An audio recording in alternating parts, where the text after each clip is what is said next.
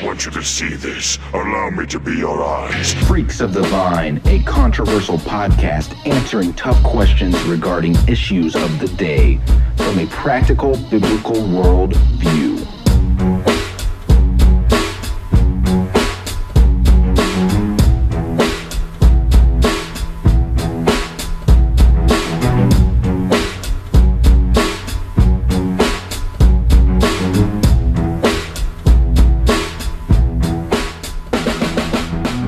What's up, everybody? Welcome to Freaks of the Vine, a very special episode tonight of Freaks of the Vine, and we're uh, always glad that you uh, uh, could tune in and join us for it. Uh, tonight is a very special episode. It is our twentieth podcast that we have uh, we have uh, come across, stumbled across, and so we're really grateful that we have um, hit a milestone. Hoo-ah! Big 2 0. The big Wow. 2-0. Almost drinking age. One more episode and he'll be completely legal, ladies and gentlemen. uh, hi, I'm Patrick. Uh, along with me is Mr. Zach, What's up? Miss K. Hello. and our uh, man behind the board, uh, Mr. Gage. Hello. Hello, everybody. It's good to have you back. It is. I'm excited about this one tonight, uh, and and be, for multiple reasons. And I, I, I think we're going to talk about tonight music, um, and specifically uh, give you. I don't know where all this conversation is going to go.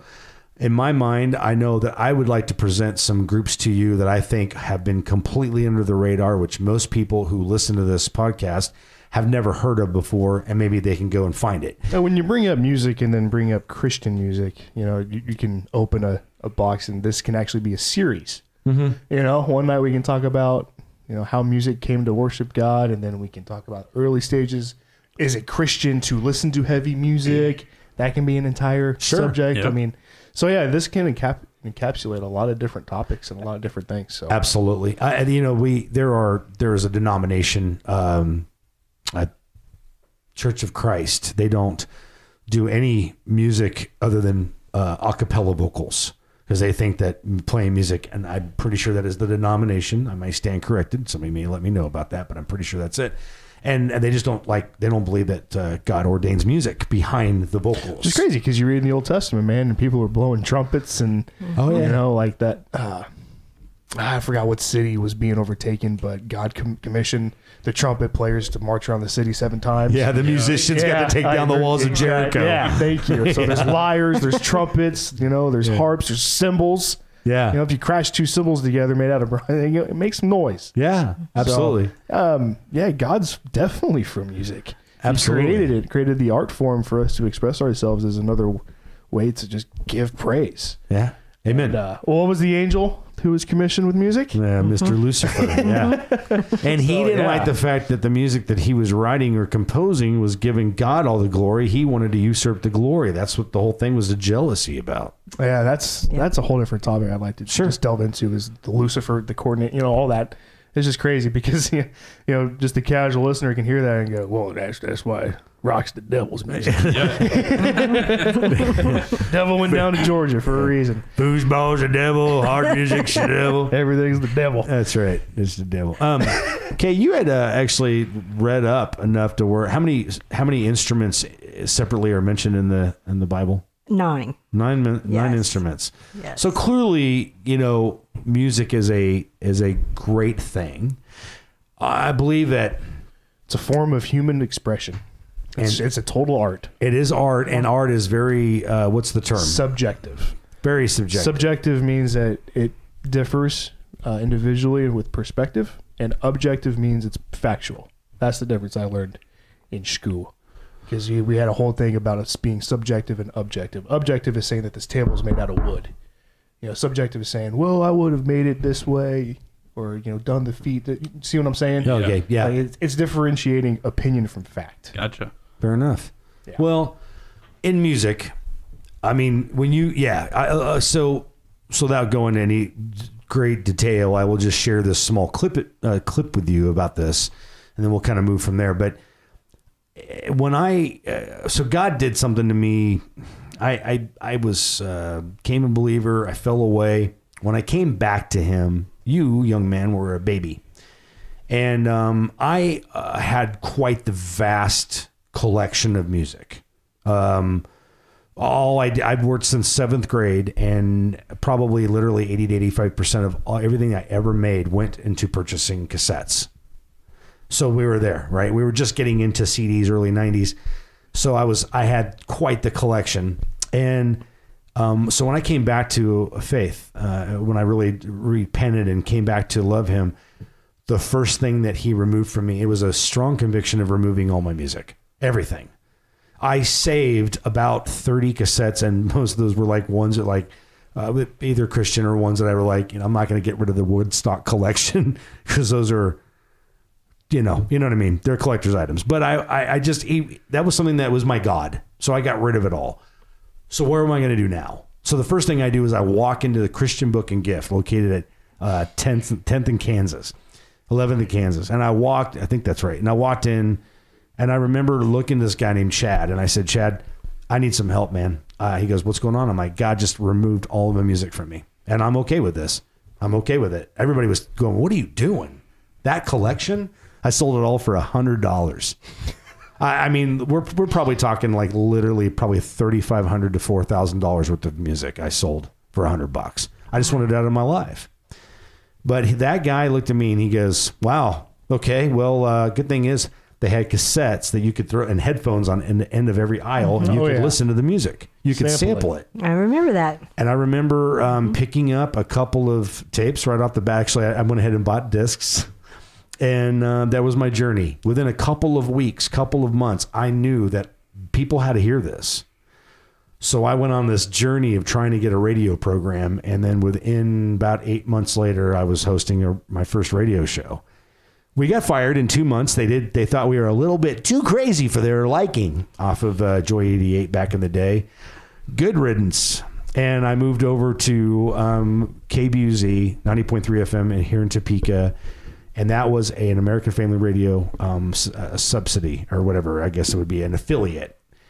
And they let us have a Saturday night program. Went from an hour, then eventually two hours. And then those two hours, I used to take Zach with me all the time on Saturday nights. Yep. I remember that was one of my first prominent memories as a child was mm-hmm. going up with dad to a radio station. And you know, there was a, the room where they did all the recordings and the on air sign would come on and I was told, okay, when that comes on, you know, I was given the whole instruction and but and I had toys and then there was like a candy machine in the corner. I was in heaven. Yeah. You know, but it was you, you could see through the the glass wall basically. So you know you were monitoring, but I just remember you know all these people coming in. And, We had an open studio. yeah, it was awesome. Like people would show up and just hang out for a while, and I, I just remember being like just blown away as a kid. Like this is so cool. You know, I get to listen to music and uh, hang out with dad at midnight. Yeah, so we would go to church on Saturday night and then go up there and do the show, and that's why you could stay up there with me late. And mom was okay with it, but we had um, we had uh, we played everything that nobody else would play. So here that I said all that up to say this: when you think of Christian music, first of all, generally what you hear is you think of praise and worship. Praise and worship music is what it's called. Contemporary music is the other one. So uh, I can name off artists. The point is, is uh, you know, you, you think you have a boxed idea of what it is. If I said Christian rock, most people that didn't know anything about it would look at me and go, "Oh, like Stryper." Creed, Yeah, they, right. Right. Yeah. So there was bands always like that always got thrown in. Precisely, POD bands that whoever was popular in that time, whatever genre they were, that's where everybody's brain went to. Okay, mm-hmm. the problem is and was and still is, is there is an amazing, an amazing library of music that nobody knows about. Correct. Which is so funny the timing that you surrendered all of your non-Christian music and you walked in and guy this is just it, it happened in a span of about 10 years. It hasn't happened since. It probably won't happen again. But from the 90s to the early 2000s there was this explosion of underground music that not only was incredible musically and awesome to listen to at the times but also gave glory to God. Yeah, And I just it blows me away looking back that my dad, you know, my mom and dad as young parents, as a young married couple, you know, having me at 19 and 20, right? Yeah. Uh, I was in, I was there pretty early with Oh, mom yeah. and dad. And just to see how much the music impacted my parents in such a light, in such a positive way for us. for me and my sister growing Yeah. up. It was just awesome, and it just happened at the perfect time, and the timing syncopated itself perfectly. But Well, and it was a wonderful time because at, at that point, um, you know, nobody was playing the music, right? So I would buy, I would get a CD, and and and a lot of time, like the, I remember Chad like gave me a bo- like a bag of CDs, like here, borrow these and see what you like. So I'd go home and I'd open them up, and we were living in this mobile home uh, park, and I'd open up the disc and I, I'd write down their number, and I would call from a um, somebody who had like like either at my job or at the radio station we had like a you know international pl- back then you guys couldn't just call across the country without costing a lot of money for people who had a landline. But I would call the radio or the um, the record companies and I'm like, hey, we started a show. Okay, well, how many hours are you? We're not a reporting, so you had to play at least ten hours a week for you to be called considered reporting. So like you know how like there's a top ten you know list of Billboard out right now. Those are that's why they choke down like radio stations will play the same thing over and over again because they're reporting. Well, back in the early 90s, this was a, an interesting time because corporate radio had not swept the nation yet. They were starting to build some steam, but a lot of radio stations were still privately owned.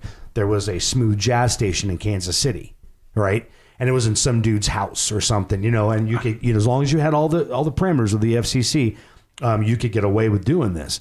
So we were in a really unique time of our history where you could do radio. Well, and also, um, a lot of radio stations had got away from just playing what they wanted. Like in the 70s, 60s, 70s, early 80s, the best radio stations played whatever they wanted to play. Right, in Cleveland, um, that lady played the, the. She was a female disc jockey. She played "Working Man" by Rush. That's how Rush got their uh, acc- uh, acclamation at the very beginning because she was because used it as a Working Man's bathroom. like a seven and a half, eight minute long song. yeah, she'd, she'd It's play it not the- the radio bathroom. friendly, Right. Right, quote unquote. So yeah, it, t- it took off. People were like, "Oh wow, is this new Zeppelin?" And she's like, "No, it's a band called Rush out of Canada." So, so these are like people you could play what you wanted to play. It was called college radio because college radio stations could play whatever they wanted. Right. So we're an interesting time here in the early '90s where this is kind of all changing, but yet we had some freedom. going from glam metal and the, and the grunge. We were right in the grunge time. So so right when Nirvana, Stone Temple Pilots, and the secular realm were, were taking off, um, the glam metal, which Christianity had a lot of Christian metal bands, were getting all of a sudden now all glam metal, all hair band metal was just being sufficed, right? So you were in this really weird wave. So as these progressive groups, these sort of new grunge bands were being signed in the secular realm, Christian metal or, or rock already had it. yeah. They were already in insane. Seattle, Los Angeles. Yep. Mortal and Precious Death were number one and number two, finished number one and number two in the Los Angeles, um, the Los Angeles County Battle of the Bands. They're two Christian rock bands. Nobody knew that. Like nobody knew that. Well, they were just they voted for him, and they uh, Mortal and Precious Death. You're talking about a time where where Christian music was they were these labels were signing people. So I would call a label. I'd say, hey, we're not a reporting station. We play two hours of music a week, but nobody. Okay, well, how strong is your station? We're fifty thousand watts on a Saturday night. Anybody who was in, the record business knew that everybody turned their signals down because Saturday nights nobody was listening really was listening to radio as much. You could mm-hmm. or you did, but you turned down your wavelength, right? So you didn't have all the infighting of all the frequencies. Mm-hmm. So 50,000 watts from Topeka would actually go like well over 70, 80 miles up to Nebraska, out past Manhattan, Kansas. You know, we would go to Kansas City, we'd go south. So we were getting a lot of listener. All of a sudden, like we would do, we would we would have a call-in thing, and our light. We only had two lines, and they were lit up the whole time. And people were like, "I've been trying to call and trying to call," and I'm like, "What?" And Rich, our our station manager was uh, our first one was Lisa Masson. She was the one that really let us get started.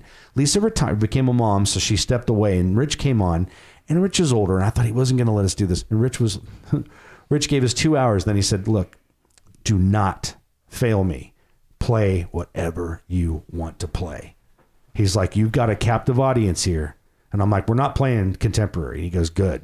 So we played death metal. We played gangster rap. We played all, co- college alternative. We played everything that nobody else was playing. And record companies, when they knew we were doing it, would ship me like a box of 20, 30 You guys should have seen the wall. We would of get these- CDs in this radio station. I mean, it was absolutely It was- magnificent. it was it was the size impressive. of this wall, and Dad had it completely organized alphabetically. But I mean, like the A would, was like four feet tall. Wow. Just the A's. Yeah, Like, K- it, it was ridiculous. The yeah, the amount. K of Buzz late discs. night would start. Um, well, we had this little tiny section, and pretty soon we grew and grew and grew so much. Rich had to put in a whole new rack for a, like a big, big wall It rack. was insane. Skillet just started, and they came to our station Yeah. on a Saturday night. Yep. and and and and and, and talked to. Uh, we were out of town, so one of the guys who was covering got to interview them, and then we had um, Pillar was out of Salina, uh, Hays, Hays. Kansas, and Pillar kind of blew up there for a number of years. And Pillar, those was guys, one of my favorite bands. Pillar It's blew so us awesome. up. They kept calling Rich and going, "Would you please have him call us?" And so I finally called them, and they're like, "Yeah." All these bands wanted to be interviewed. So think about Saturday night, Fridays and Saturday nights. A lot of these bands are around around the country. So I would call their promoter, and then they were like, "Yeah, they're in Spokane, Washington, Saturday night. Um, that's two hours behind you. So yeah, they can probably call in right at like eleven fifteen. And I'm like, awesome. So they would get done with their show, cool off for a minute, and then we'd get guys from Tourniquet. We interviewed Deliverance. We interviewed Bride. We interviewed all these bands. I mean, everybody. I mean, Starflyer 59, Johnny Q Public, all these groups that. Wow. And it was it was great. And then we had a late a girl who lived in Lyndon, Kansas, who recorded a bunch of our episodes. And then one day showed up to the the, uh, the station and gave me a box of tapes, which I still have at home, of the interviews. And I was like, "You sister are amazing." So a lot of cool stuff happened in this seven year Oh, period until. I walked away in 2001. It was time for me to. Uh, I was it was a volunteer thing, and I was time for me to hand the reins over, and, and it was the right time to do it. But I bring all that up because there was a the Zach said it was a 10 year period of music, and I and I think music is, ah, it's art, but it's a lost art sometimes, you know. Like, uh, you, you hear In-A-Gadda-Da-Vida. It's a secular song, right? By Iron Butterfly. 18 minutes long. Doom, doom, doo, doo, doom, doom, doom, Yeah, it's the same riff over. and I got of beard. ah, you know, nobody plays that anymore. They play a three and a half minute version. How do you trim a th- 18 minute song down to, you know? So it's a lost art. Most of the stuff is repetitive, but there's a lot of great music out there. Um, so wh- when it comes to music, what is your guys' favorite? What has been your favorite, or what, what are some groups or artists that you've liked over the years? That is secular or Christian. Let's just throw it out there. Who wants to take it first? Go ahead, Kay. Well, I I am a person that just I love music. I love all different kinds of genres of music, and so I, I'll listen to just about everything and anything. Be specific. Give me somebody that you really liked. Okay, growing up, Bob Seger, Pat Benatar, Okay. and those were just my favorite, all-time favorite when I was, I don't know, 17, Love Bob 18, Seger. Absolutely. 19 years old. Yeah, you can't go wrong with Bobby. That's awesome. What about you, Gage? Uh, when I was growing up, I listened to a lot of Relient K. Oh yeah, I remember them. Yeah. Yep. They uh, right on. Did you ever listen to Kutless? Yep. Yep. Kutless with a K. So more like like new metal type stuff, or in a Yeah. sense, kind of the. Yeah. Relient K is not much metal. No, they're not. They're more uh, college rock punk. Yeah, Yeah. yeah. Okay.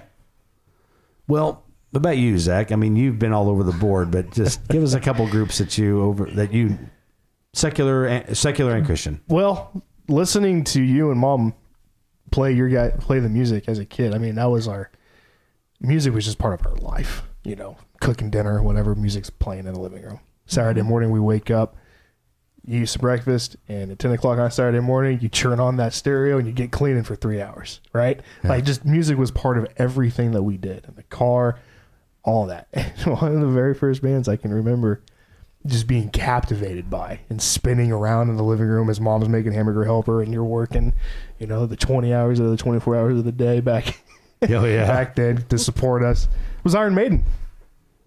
I remember listening to Wasted Years and Caught Somewhere in Time and just it, it put me in a trance. And what's funny about Iron Maiden is that yeah, they are a secular band, but Nicko McBrain, their drummer, is a born again Christian. Yeah. and Very he- outspoken and he's about it, Very too. outspoken about it.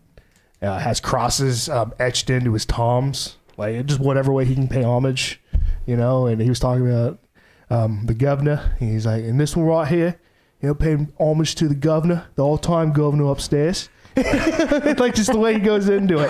This is the drummer for Iron freaking Maiden. Like Yeah. the number of the beast, six six six was on one of their album covers. Yeah, it was. You know what I mean? Like, but yeah, I, Maiden captivated me. Bride Bride is a great Christian was, was a great one. There's a video of me three years old lip singing, lip syncing to one of the Bride songs that you recorded. I have it on. I have it on uh, on film, and I'm going to put it on disc. And uh, that kid, we, we had borrowed a camcorder, and he did the core. He'd mouth. He, he lip synced at two years old. Uh, a song called uh, "Picture Perfect" by Bride, and it was hilarious. And I I wish we would have sent it into one of those America's Funniest Some videos because it was on on par. it was on par. yeah, um, but yeah, it probably. I mean, just anything that dad and mom listened to, I, I love too. She loved, and we, we started to. Except for there's a couple bands now that I love that I couldn't stand then. One of them was Steely Dan. Every time you, mom, or like grandma would play Steely Dan, oh my god, turn this off. My ears are bleeding. Like stop. and then now, That's exactly how I feel about Patsy Cline. Really. See, there's always somebody that does it but too. I but I can I can listen to Steely Dan now and just be in heaven. Like it just I, I can totally I'm- I'm, enjoy uh, Steely Dan. But so yeah, I mean probably I, I was enamored with with rock as a kid. I was um, the youngest of ten sons, and so I am the youngest of ten boys, and so I, I had one brother in particular. All of them liked music, but I had one in particular, um, Dennis, who died in uh, 1985. Um, uh, he he was a huge music junkie, and he I learned. I, I learned. I remember my earliest memories of four, five years old of listening, getting home and pop and throwing on um, Molly Hatchet and Yes. And then when I was in uh, eight years old, I remember uh, listening all the time, every day, to the best of Joe Walsh. um, it was, and he was in the Eagles as well, but he had a solo career, and his solo stuff to this day is some a lot of memories. But Turn to I- Stone. Oh yeah, Turn to Stone and uh, County Fair and all these things. So I had this this background of music, and so music was always very important to me growing up. Uh, of all types, I mean, my fit one of my favorite artists of all time is uh, I, I, I shared a memory of her today on, on Yeah. uh, Facebook. Uh, Carole King. King, uh, one of the greatest albums of all time, called Tapestry, was remained on the Billboard uh, Top 100 for uh, right at 11 years. Uh, that that album and Dark Side of the Moon by Pink Floyd are the longest running albums ever to stay on the Billboard Top 100. Um, Carole King's amazing. So I have this, I, and my mom was like big into like Neil Sedaka, Neil Diamond. I, I, there's a lot of, you know, so I had this really interesting. Gordon Lightfoot. Gordon Lightfoot. Yeah, yeah absolutely. Um, so I had this vast upbringing in music. So it wasn't hard for me to spot something, especially in Christian music. So, you know what I mean? That it was like sticking out. And so I'd like to throw to you guys um, a couple of bands and a couple of, of genres uh, right now that um, I think are overlooked, if you guys don't mind. So um, I have them memorized. Um, I'm pretty sure I have them memorized. I'm going to start first on the low end uh, of, of softiness and move up. So I had three groups. So that we'll I- go like level of intensity. level of intensity. There you go. Yeah. Um, Sonic value because the lyrics for the for the softer songs can be just as piercing as the heavy. Okay, and so before we get started on this, I want you to kind of before we really get there, because when we get to the metal stuff, I, I want to address this and just the elephant in the room. Okay. Okay. So so I I can't stand rap as a genre of music. However, there are certain rap artists in the Christian realm that I think are even the secular that have stuck out to us. You know, but the the Christian there's there's some good ones. There's some really good artists. So when you talk about the sound, the sonic level of or of any kind of metal, a lot of times people just don't care for it, the hard rock. But there's a lot of people who do, and a lot of them, however, are Christian that are Christian kids are not, you know. So Iron Maiden is nothing compared. Like I know there was a song called "Number of the Beast," you know, and, and there's a story behind we that can song, that's, right? That's episode by itself. Right, right, Yeah, absolutely. yeah. But but they're, they they weren't Slayer, right? Deicide. Slayer or Deicide, who actually who talked about uh, anti God, correct. and that's the thing. So there's so in the secular, you know, when there's kids coming up now and they're like, "What? Pat, hey, Pastor Patrick, what do you think about this band?" And they're a secular band. I go, yeah, I'd be very careful with them. However, if you like them, check out these guys, right? So I still I don't want to go. You can't listen to secular music because it's the devil, right? Again, Right. I don't want to. I don't want to. I don't want to throw water on their fire. No, and there's there's I a huge mis- misconception of, of of heavy music. I mean, there's people who can you know understand that. Oh, okay, yeah, that music's cool. It's not for me, but I can see why you might like it. Yeah, You know, and then there's others, you know, like, well, I, there's no reason to be that angry. There's no reason to be that upset or good you know, point. You know, And I think you Like, two need to talk about why it by why it doesn't bother why what it does for you. I think you engage need to talk about that. Well, it's statistics show, research has been shown that kids who listen to heavy music play violent video games Yep. Are Right. way less likely to commit violent acts of crime or anything else. Yeah, 'Cause it's an you only hear the other side Yep. of it, but Absolutely. it's an outlet for them. They get It's a their complete angst out. outlet. It's a complete outlet. So if they're going to listen to heavy music, real quickly, Gage, and I want you to respond like that what, what Zach just talked about. But when you talk about when heavy music, uh, if it's an outlet, why, why would they? eh, You want to steer. You want to give them some good stuff. If they're going to listen to something heavy, they're not listening to because of the lyrics necessarily. They're listening to the aggression. So we, you want to kind of help them get here. Here's some good stuff. Here's some you know. Here's some stuff that is really positive. So so when it what about for you? What does it do for you? Yeah, so a, a lot of the emotion with it, I think, is something that a lot of people can relate to. Um, I know previously my music choices weren't always in the right, but um, it was just like you said, an outlet somewhere I can go to and relate to the song. So Okay. Hundred percent. yeah. Um, when it comes to the Christian side of it, though, I think there's a it's a lot deeper when it comes to that emotional tie with it. The you know sitting there and listening to these like rough songs, the heavy guitar, uh, like the double bass pedal on the drum just going off right, like that's fun.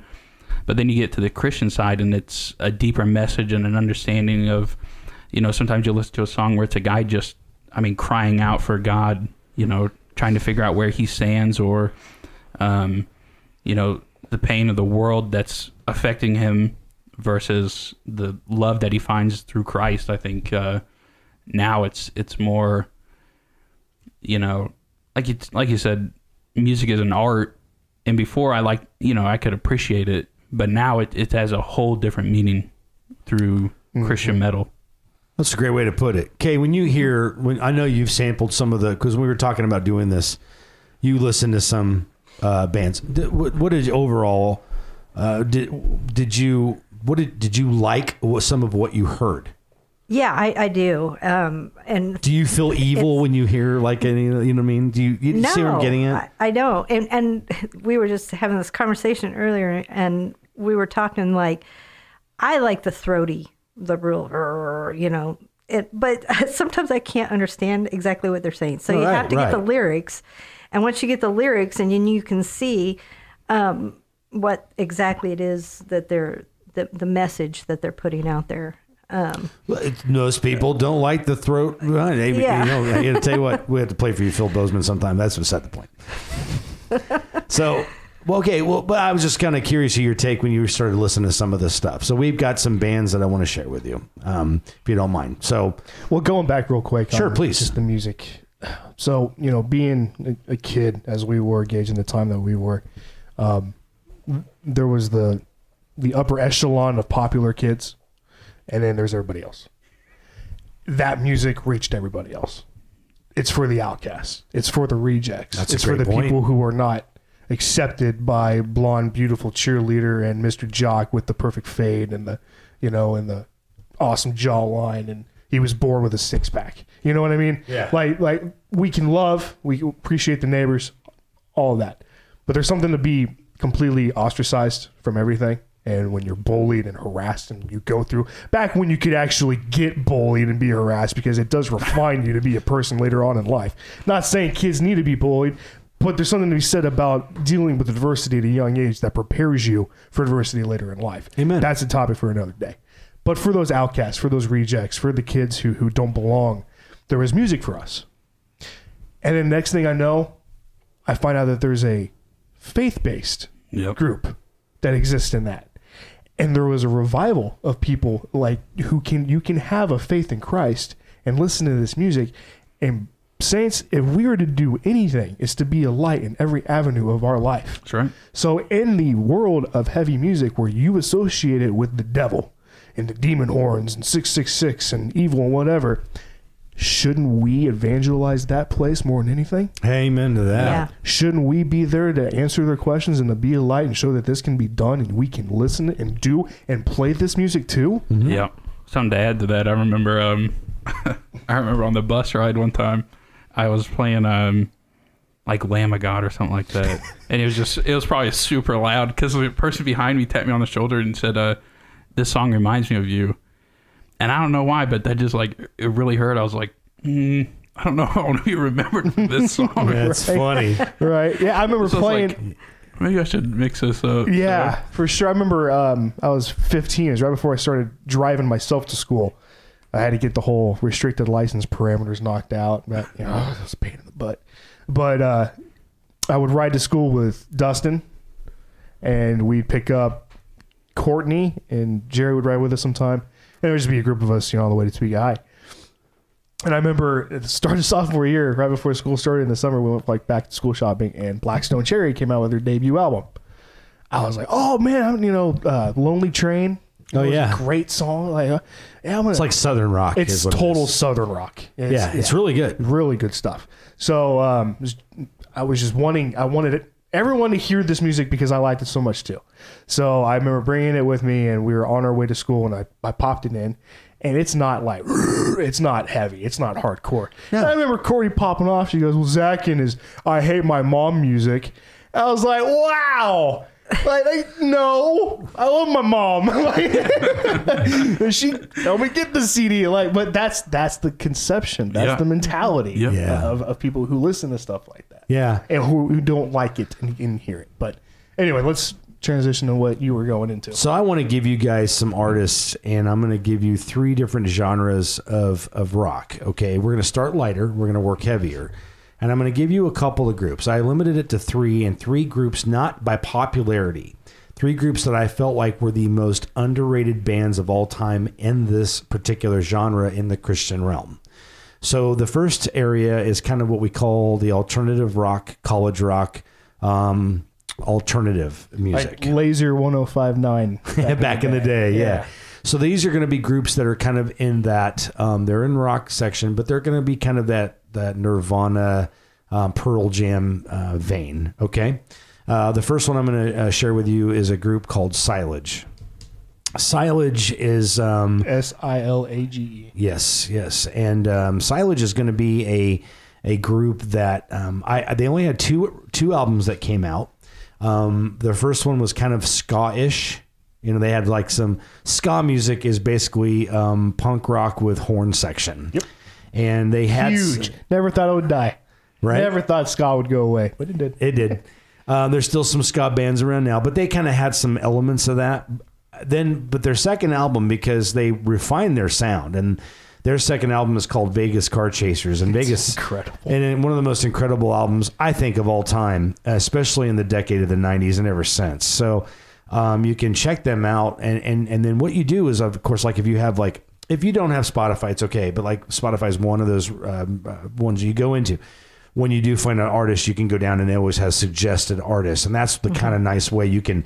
But you don't know where to start, so that's that's where they were innovative. Um, the lead singer um, is still in a band today. Is it's actually the band is called In Parallel, and they are out of Nashville, Tennessee, and they are very very unique and very different, but beautiful band. The second one I want to bring up is uh, Grammatrain. Grandma Train is probably one of those groups that they came out they were really rough. A lot of band, a lot of these bands i'm telling you about they were rough on their first album because they just didn't have a lot of money behind it. Based on the success of that first album they got more money in their second or third album. Grammatrain actually released an album a few years ago another one. They got back together three piece band.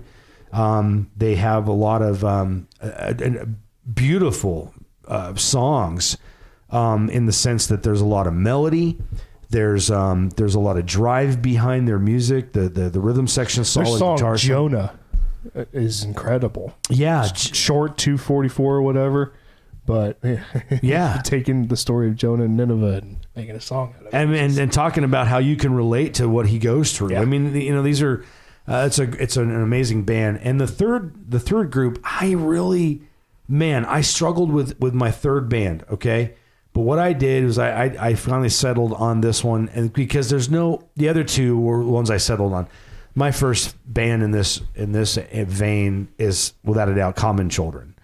Common Children's first album was like whenever somebody would say, "Well, wh- what's a Christian alternative to um, Nirvana?" I would give I would tell them Common Children's first album. Then their second album came out, and they were it was different. It was different than the first album. It was more refined, a little bit more. You know, there's some sharpness to it. And then they're by their third album, they were they they were uh, above everybody else in, in my book. Not for everybody. You know, you can't you can't I don't even know how to explain this, but this is the interesting thing. Their third album had a lot of symphonic elements to it. Delicate Fade. Uh, Delicate Fade is actually the second album. The third one is In Between Time. Okay. So the third album was sort of like their launching pad to what's called Hammock now. Hammock, if you search, it's funny, if you go into Spotify, you can see how many times people have played Common Children's songs. And I think their top five songs have only been played over 10,000 times each. And probably most of those are from Zach and I. Anyway, honestly.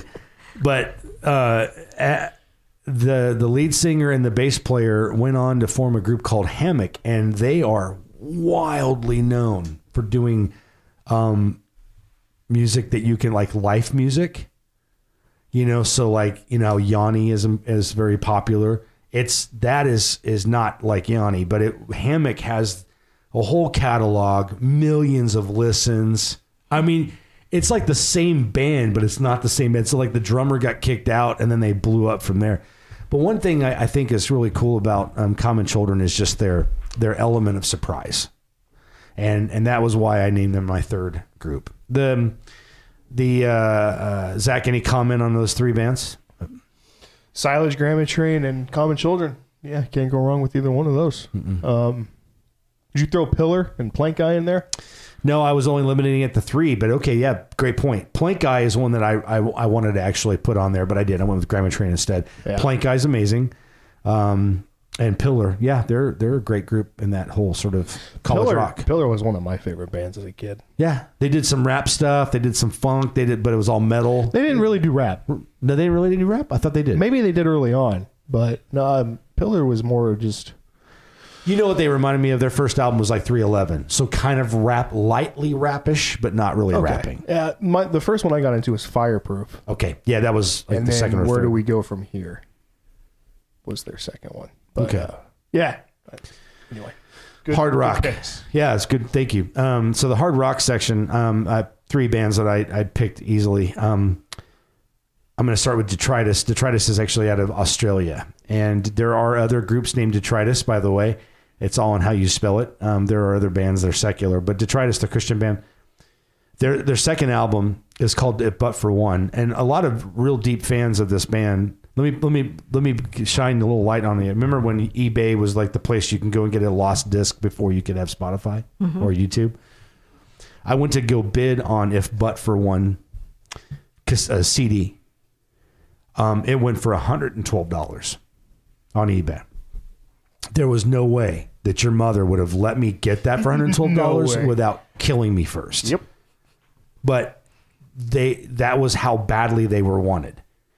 They set their first album by all their fans love them. Okay, I'm not a big fan of the first album. The second one, if but for one, set a trend in metal. It's some of the best heavy music you will listen to. They, The fact that they he took like a sailor's farewell, bidding goodbye. he sings a song He as sings a, as a pirate. skipper. Where are we going? It's ah, inc- better with- play Sissy. with this Like, riff nobody ever and did double that. bass groove in the background. You're just like, what is this? But why can't I stop listening to it? Right, It- it's, and- it's and- and incredible. they had another song- Feel. It- It's a two and a half minute long song. It's a prayer. and it, It's an acoustic song when him, with him singing out. You know, even when I can't. Um, or gosh, I'm forgetting the lyrics, but uh, it's just like he just cries this out, and, you're, and you can just feel it. Yeah, In the you same album. Yeah, it's And they had another one where they um they actually in the middle of this metal song the- instead of a guitar instead of a guitar solo by either one of the guitar players, they throw out a, a sax a tenor saxophone solo. And it's 16 measures long. And it's beautiful. Over a metal song, you just hear this beautiful melody of a sax. And another one they did, they they the first time I'd ever heard grindcore was the title track. They did it. He sung it in grindcore, and coming out of the song, it has a piano solo for the last two minutes. They did something that nobody else will ever ever be able to pull off absolutely. and and it was it was one of the greatest albums ever. But anyway, Detritus and they their new album just came out one year ago, and I'm super stoked. It's really good. It's different than their old stuff, but I like a band that evolves. Uh, Deliverance, they they a lot of people have heard of them before, but the fact that early on they were a thrash metal band, okay, in the late '80s, early '90s, they switched. They went to more of a progressive rock.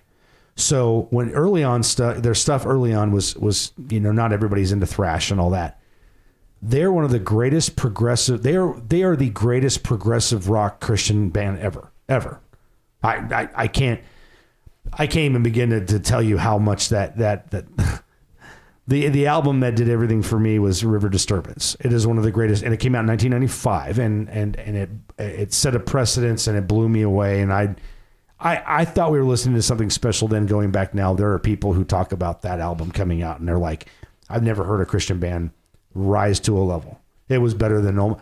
If it was played on regular radio it would have been the, it would have been one of the top five albums of the year in secular but it wasn't because they're a christian and they and jimmy brown wears that very pridefully he doesn't care um, so deliverance um, look up river disturbance album and the th- final third band precious death um, I mentioned them earlier. Christopher Scott. Uh, I found him uh, recently on uh, through the wonderful social media platform of Facebook. But they are actually back to. They're writing new material for a comeback album, and I can't tell you how much that band means to me. That's a band that I remember Dad listening to an awful lot as a kid. That that navy blue, dark blue, sea blue cover with the bright red lettering "If You Must" on the on the front. Like Dad listened to that all the time as a kid. It- it's it's fantastic. The other one was uh, Machine Fish by Galactic Cowboys. Yeah, Galactic. listen to that one a lot, Yeah, too. Galactic Cowboys' Machine Fish album is one of the best album. It is one of the greatest rock albums of all time. Don't get the horse that Bud bought. No. I made the mistake at Hastings. Like, oh, Dad, did you know that Galactic Cowboys has a new album out? No, buy it. I will. Bring it home. What the is this? it was it was their follow up.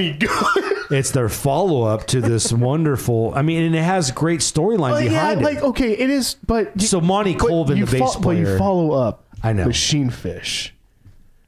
Man, Monty Colvin, the bass player, is an amazing guy. Um, I'm friends with him. I found we've talked from time to time. sorry, Marty. If no, I don't mean any disrespect, guys. Like, Well, I know yeah, that that's your music, and it's just not my personal cup of tea. Well, he wrote about it, the horse that Bud bought, because his, his father actually sold everything to join a cult with his family, and he was one of the kids. They had moved to the mountains and did all that. So there was a point he bought a horse, and the cult leader like got very angry with him buying a horse, so that he wrote an album called "The Horse That Bud." I mean, the story behind it's amazing, but album wise, it's nothing like Machine Fish. It's like literally the Beatles coming out with I don't know, you know what I mean. So it's just this big fall off, but Machine uh, Machine Fish is one of the greatest my third um but my third and, favorite uh band with that was precious death and so you should check them out okay i'm going to move to the final category today and that is metal By the way, if if "You're Gone, I'm Here" by Precious Death was played on a secular radio station, it would be one of those songs that you would hear played at the top of the hour every hour. It is one of the best rock songs. Like it reminds you a lot of Candlebox. I don't know if you guys remember them. They had "Far Behind" was huge in the '90s. change Change, don't you? Um, it's just they have a, they had a very unique guitar tone. I'm not even gonna try to explain it. no you're good but yeah i i remember playing um, that song at a party i went to i was the first time i went to a new year's eve party where i was deciding not to uh, consume beverages. And I was I was pretty fairly young, but this has come out, and I was doing the radio program, and I remember playing that song. Um, I took over the stereo from this guy. I was like, "Do you mind if I play this?" And I remember watching everybody in that place. By halfway through the song, their reaction, they're all you know, they had no idea who I was playing, but everybody was into. It was almost like like the a wave of everybody just like man. And I had a couple guys looking over me like, "Who is this?" And I I remember that feeling of going, if you only knew, if you only knew this band. And Christopher Scott, the lead singer who wrote all their lyrics, is one of the most fi- fire breathing, passionate Christians I've, I've ever heard speak before. His love of God, his love for the Word of God, he could preach it. And every time they played a show, everybody knew who they stood for. And, and, and he's still around and he still, he loves God. He's still doing the same thing he just doesn't have any hair anymore. You know, we, we grow. Right. All right, uh, I'm going to move to the metal category now to help everybody kind of follow along in the metal. Um, I'm going to go with Extol at first. Extol is one of those groups that they're out of another country and they they fuse um, a lot of progressive music to it, and they're very heavy, but they're really beautiful. And I just thought that they should get some run because they get really overlooked. And again, these are my un- That's a good point. That's a good point. Okay, and these are my the most underrated. I think I, I, I could talk about Demon Hunter, but everybody knows who they are. True. I'm not talking about the popular ones. The next one um, is Tourniquet, and I think that Tourniquet is one of the greatest bands of all time. And they their their entire um, category is started in 1990 and is still going. That's the band that I associate you with the most. Like if you know, like someone, oh, what's one of your dad's favorite metal bands? Tourniquet. Yeah, They were, yeah. You love that band. their third album their third album is called um this popped out of my head Is it the one with Houdini? uh no that's vanishing lessons the fourth album the That's third fair. album the th- third album was the last one with their original lead singer guy ritter and it just path pathogenic ocular dissonance. I knew it'd take me a second. I kept wanting to say the telescopic realm of a mic- uh, microscopic, microscopic view of the telescopic realm. They have awesome, awesome so names. yeah, the third album and the second and third album. Um, so the drummer, the founder of the band, his dad was a uh, surgeon, and so he used surgical names in, in the to explain the Bible. It was actually really really unique, and it was the lyrics are amazing. Their third album, though, uh, Pathogenic Ocular Dissonance, is one of the greatest metal albums, bar none. It is up there with Master of Puppets by Metallica. Period. I don't care what anybody says. The top 10 best albums of all time, secular or Christian, Pathogenic Ocular Dissonance is one of the greatest, and it is the most underrated album of all time by that band. Everybody talks about their first album, their fourth album, and other ones, and their third album.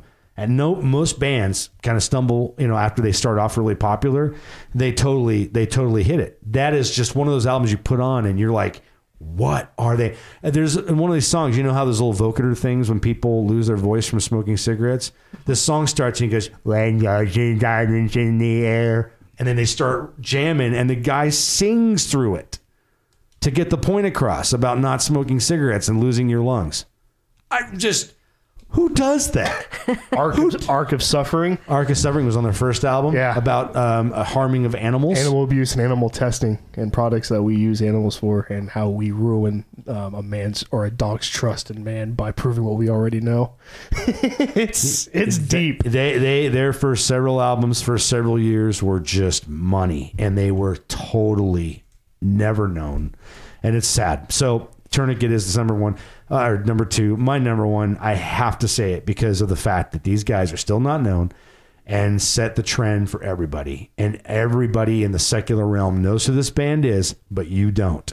Living Sacrifice, hands down hands down rules of engagement one of the greatest metal songs ever written and I, I can't I can't even begin to tell you guys what they have done for a second. There are secular artists that out there that are like, oh, Living Sacrifice is one of the greatest bands ever. And I, when you hear people say that, and you're like, wow, really?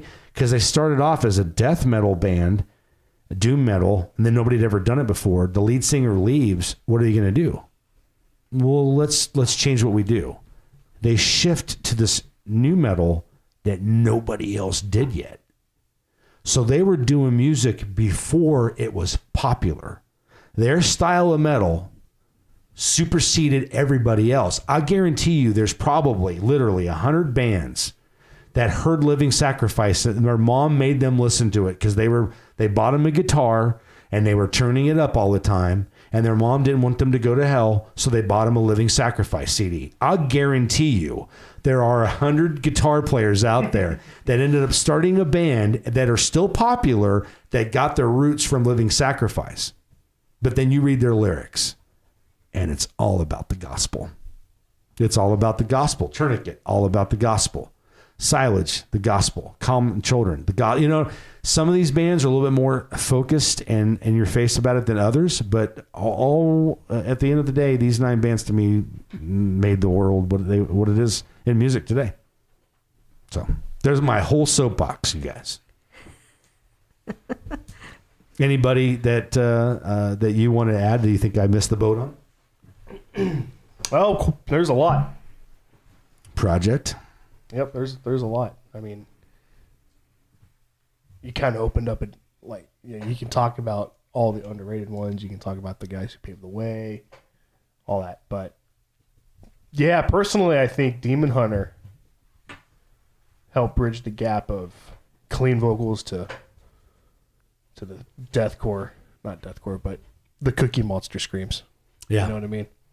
Demon Hunter helped bridge that gap uh, for me. And then As I Lay Dying was a good one that came along too that I really enjoyed. Um, You got into them a little bit, didn't you, Gage? Yep. Who else did you get into? Uh, Devil Wears Prada, uh, Phinehas. Um, Zach hasn't remembered his favorite band yet. ABR, baby. oh, I was saving that. So you would cut that out? I was saving that one. now you, please share. Oh, Gage, continue. Phinehas. uh, that's I mean, fit for a king sometimes, and Mm-hmm. uh, that's really all that's coming to my head. But Fair enough. yeah, Was there a band that stuck out to you, Kay, before uh, Zach Lewis throws down some of his? Well, I I like the Demon Hunter, and They're great. yeah, yeah, and um, War of Ages. So Give it up, girl. Way to go. War of Ages is very in they're very strong about their their they don't care. They will not turn down their message. Their lead singer and lead guitar player, the founding members, always say that they will not go quiet on their faith. They don't care who they make upset. And they've stuck to it. Yeah, they have. And they're still very active Yep. and good.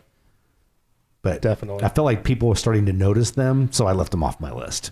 That's why Extol got on there. Project 86 um, is, a, is a great band that was marketed by the best way possible in the 90s. And that's when another band wears your shirt. And the guitar player for Linkin Park, they were playing a, a live concert and he wore a Project 86 t shirt. And they are a Christian band and uh, out of Baltimore, Maryland. And yeah, they're, they're really good. Their, uh, their early stuff is great. And then they kind of, they're different, man. They'll, they'll change it up on you. And you either like it or you don't.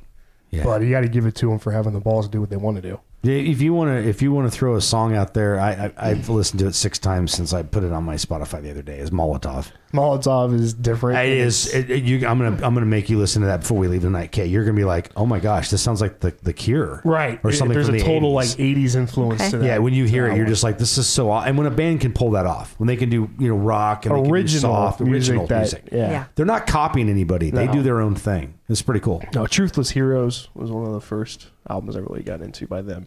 Um, Salem Suburbs, I remember listening to it at 11 years old. And when he, he just sings out, um, Who I am, who I will be has been decided for me. And like, he just keeps repeating that. And I remember being 11, like, oh, wow, that's awesome. Like, who I am has already been figured out. Like, I don't know it yet, but he does. He's singing about the doctrine of election. yeah. and it's pretty Yeah, cool. Exactly. Exactly. Um, uh, but Project, uh, let's see, who else can I throw out there that isn't really known? For Today. For Today, yeah. um, singer Matty Mullins um, is an on fire, on fire evangelist. He is. He is always um, sharing testimonies at shows, being very positive influence on kids. He actually, uh, when Tourniquet came out with an album a couple years ago, uh, he's featured on one of their songs like stereo tr- no that's their i forgot the name of the song but it's about um, man's abuse of dogs And it's phenomenal. It's a great song. Um, Slavering, Slavering by Tourniquet featuring Matt. That's a it's fantastic. Wow. Okay. I, I do remember the song. I didn't realize that that was him singing that. Yeah. So for for today is great. Um, You know what Kay might really like? Maylene. Yeah, Maylene and the Sons of Disasters are one of my favorite bands. Th- they, they are not known. Like there was a chick, I, I don't know if it was like Selena Gomez or something, some like popular chick who was on a, a night show saying that she just got done watching Maylene and the Sons of and the Sons of Disaster in concert. And I was like, what? You know who they are? So uh, like two guys from Under Oath. Uh, left the band. Under Oath, if you didn't know, started out as, as as a Christian band, Yep. and then have totally renounced the faith they were i watched an interview with them and the guys are saying basically like somebody asked them a question answer this if i was still a christian today i would be blank. I would be dead is how he responded. Yeah.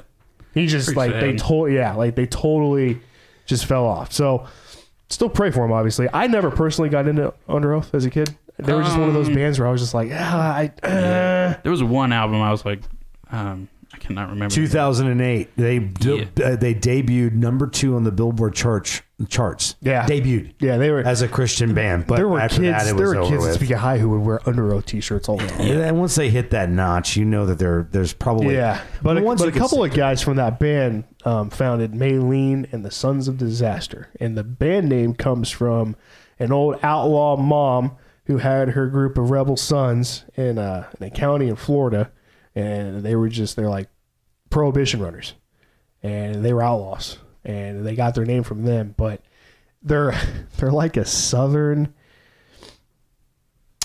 deathcore meets melodic soft rock and something like that. It's Metallica and Bob Seger got together you go. along with uh, along with Molly Hatchet and had a go. child. Yeah, it, my it- gosh. it's hard to explain these guys. Like one of their songs, one of my favorite songs by them, uh, starts out with like um, hearing crickets and frogs in a summer night, and then you hear this banjo come in, and then it kicks into just uh, what's the Wow. darn Yeah, name they- of the they- Yeah, I'm gonna have to listen You- to that yeah. now. Freaking You'll really like it. They're one of the coolest bands that ever really came yeah, out they're of that. very different. Um, and I, I love the band Dropkick Murphys. I did Irish rock was you know, listening to I'm shipping up to Boston when it came out on MVP Baseball 05 with Manny Ramirez on the cover. One of the best soundtracks for a video game of all time, and Dropkick Murphys was on there, and uh, I absolutely fell in love with them. And I bring them up because there's a band that I guarantee you you have not heard of, and they are out of Chicago, and they have that Irish root. Um, play bagpipes in their song, have that total, and that's Flatfoot 56. Flatfoot, one word, the number five six. They do a cover of the worship hymn "I'll Fly Away," and it'll move you. yeah, it's beautiful. It will move you. He played it for me, and I was It's uh, it's taken aback. upbeat and it's driving and it's an amazing song. But Flatfoot 56 has a bunch of albums. They have a song uh, called, about Ty Cobb, talking about uh, the the fastest man in, in baseball has the is the dirtiest, and the sharpest cleats are coming for you. Like the sharpest cleats in baseball are coming for you because Ty Cobb would sharpen the spikes, the metal spikes on the bottom of his feet, and uh, intentionally spike guys in the ankle, Yeah. sliding into second, third, and home. Um, he was shot by his own mother when he was 18 years old. Ty Cobb has one of the most fascinating biographies you've ever. It, sa- it seems like somebody wrote a story. Ty Cobb's story is absolutely captivating. I encourage anyone, but their song "Ty Cobb" uh, was the one that turned me on to that. And I talked to my buddy who I was working with at the at the school. I was like, "Dude, have you heard the Ty Cobb?" He's like, "Yeah, I wrote this or I read this biography about Ty Cobb. You would not believe the type of life he lived." And yeah. Anyway, yeah, the baseball player Ty Cobb, but Flatfoot 56 is another great one. And I- I'll end it uh, with the band that uh, has a very delicate spot in my heart, and that's August Burns Red. August Yeah. Burns Red um, came out with a CD called Rescue, or an album called Rescue and Restore. Rescue and Restore came out in 2013. And they came out with that album in the summer. And that summer was the summer that my mom was diagnosed with leukemia. So when the atom bomb was dropped and on our lives, I went out to Best Buy, some steam, and I picked up this album, and I was like, oh, I love August Burns Red. You know, I've listened to those guys. You know, their the album previously was Leveler. They were taken over to Cam's house with Cam, Corey, JJ, and all of us are hanging out playing college football, and I just would play it in the background. Like, yeah, this is awesome. And they had like they, there's a salsa breakdown in one of their songs. Like they're amazing. So Rescue and Restore comes out, and it's funny because they call it today their emotional middle child of a release of an album. I I spilled more tears and screamed more screams and according to that song than I ever have in my life, but it came out right when I needed an out. It was my mom dying, you know, the poss- possibility of living life without her, going through all of this emotion, all this turmoil, and then they provide this album in which they wrote a song that I used at her eulogy. Yeah. It's called Beauty and Tragedy. And it is one of like I it'll pop up on my speaker and I run next. I can't do it unless you want to see waterworks happening. No, but uh, August Burns Red, um, their drummer Matt Greiner is one of the most sweetest human beings. Uh, I love to listen to him talk about his is faith. Yes, he loves Jesus Christ with absolutely is a, adores the Father in heaven, and the whole band does. The whole band does. Um, there's a song called Meridian. It's an instrumental, and Jake Luhrs in the mid, in the middle of it uh, screams out um, a passage from Jeremiah, and it's those who live um, by the sword will find favor in the desert. And just the way they do it is just so powerful. But yeah, ABR. ABR to me, and it's not because I was born in August. It's because they. It's funny. You remember what I told you how they got their name? Yeah. So they they started as high school buddies, 15, 16 years old in suburbia, Pennsylvania. Uh, all know each other as buddies, and so they start to form a band. And um, they were trying to come up with a name, and they there was a headline on the local paper, um, a story about how a girl burned her boyfriend's dog, set the dog on fire as an act of revenge for breaking up, and the title of it was August Burns Red. So they took that and hmm. named their band after. Because they were all moved by the story, Yeah. and they thought it wasn't like you know. It wasn't like an homage to it. Don't, don't get me wrong, but no, they're like taking it like as like a scarlet letter. Yeah. Mm-hmm. Yeah. Yeah. I, I, and there's a, I, you know, it's funny because a lot of the bands we've mentioned tonight, a lot of the groups, and a lot of the, you know, not everybody. Like you, you might not like something that we brought up, or ca- you know, you could listen to it and go, man, I just can't get it, and that's okay. That's a that's the beautiful thing about music is that it is art and it should appeal to what your ears, not because it's popular. That's what I hate about the word pop culture, pop music, because pop is short for popular. Right. And I don't like things necessarily. You know, yeah. I mean, there's sometimes a song comes out, you know, Drops of Jupiter by like Train comes on at first. I don't really care the fact that he mentions a comment about uh, Heaven's overrated, right? But I remember the first time I heard that song and I was like, wow, that's going to be a hit.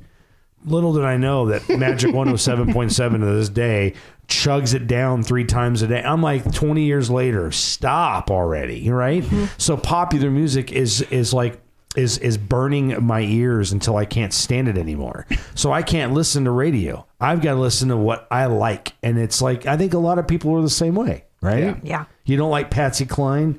Yeah. Look, there's there's a there's a comfort I to get it. listening to the same music.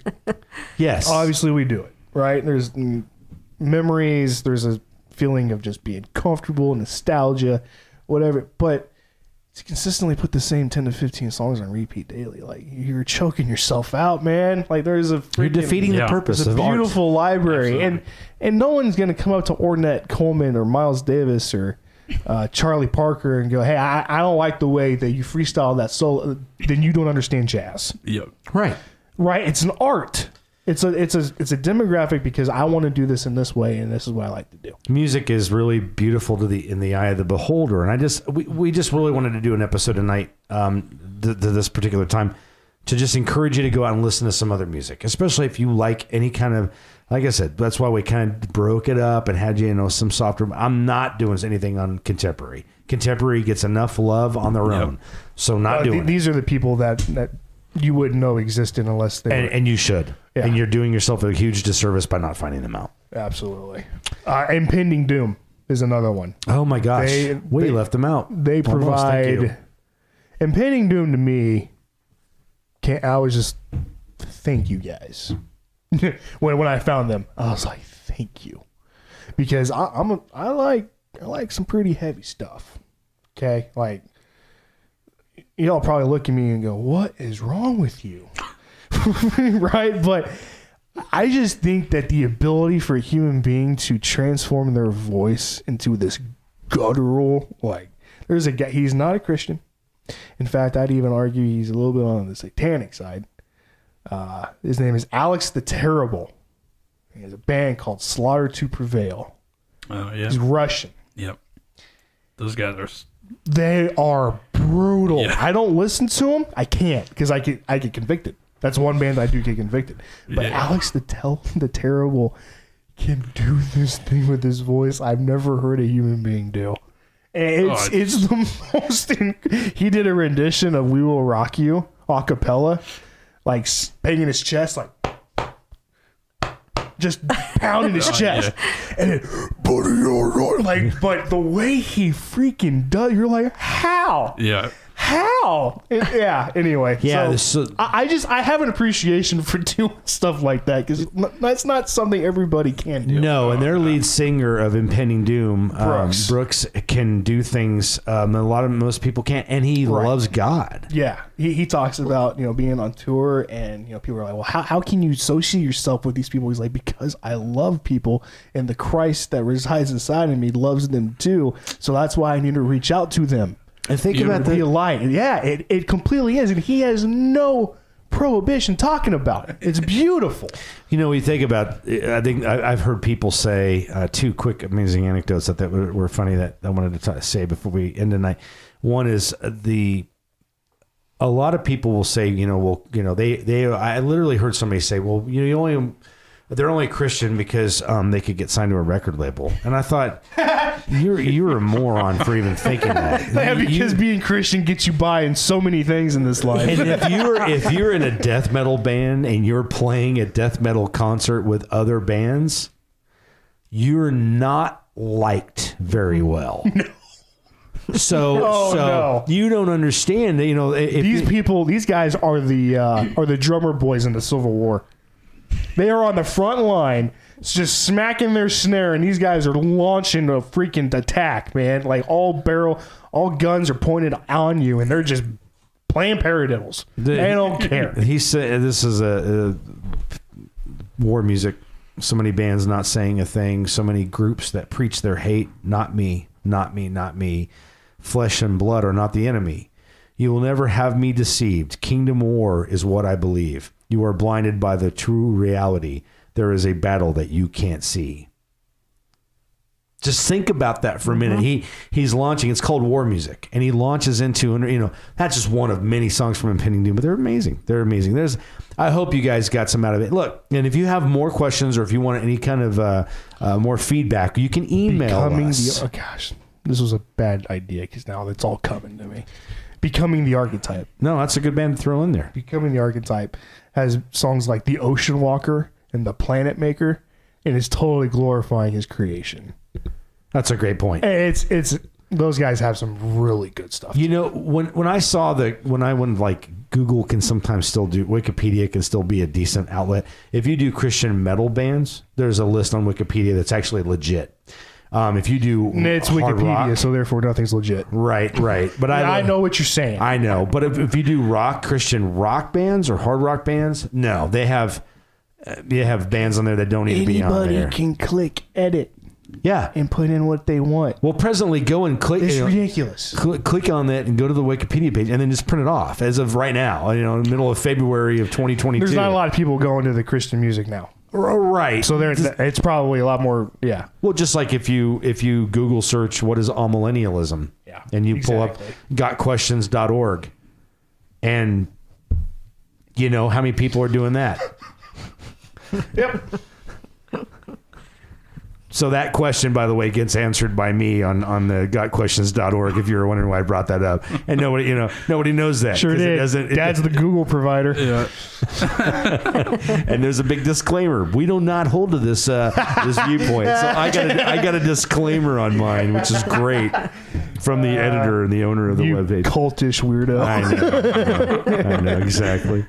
Um, Kay, thank you for listening to some of this music and being open to check it out. We Absolutely. really appreciate Oh you. yeah, Absolutely. loved it. I really did. I enjoyed it, and and I'm glad. I actually, I'm gonna have to listen to this back to start writing down all these names so I can go back and listen to Well, them. and Gage is going to do something as people are listening to this particular episode. Some of those band, he's uh, um, you're some doing s- video. yeah, some video there and some little uh, tidbits, and so we're going to see what we can get away with on Yeah. this one.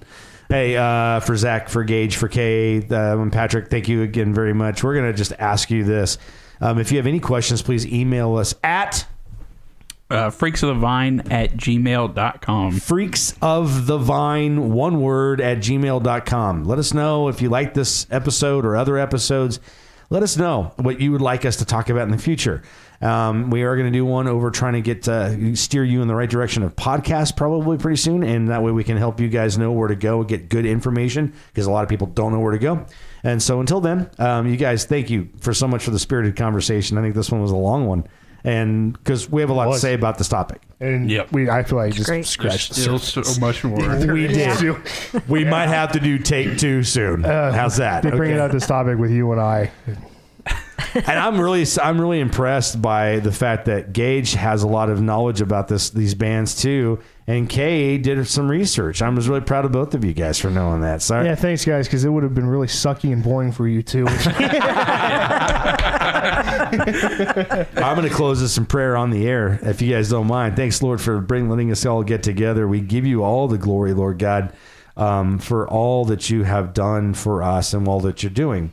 Yeah, Lord, we know that there's a lot of musicians out there who are playing music, that are worshiping you, that are teaching about you.